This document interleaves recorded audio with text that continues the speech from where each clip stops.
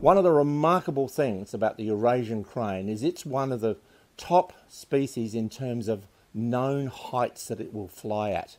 Because it has to fly across the Himalaya to migrate, we know that they fly more around about or perhaps a little higher than 10,000 metres, one of the highest recorded flights for birds in the world.